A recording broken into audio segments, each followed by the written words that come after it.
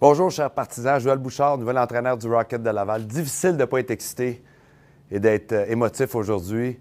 Euh, qui, ensemble, on va commencer un nouveau chapitre euh, de ma carrière, mais de la carrière de beaucoup de, jeunes joueurs qui vont se joindre à l'organisation et de vous, les partisans, de vivre ça ensemble.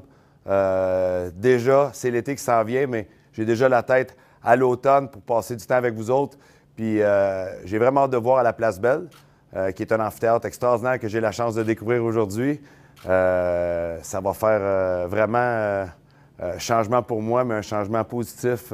puis j'ai vraiment hâte de vous voir à l'automne.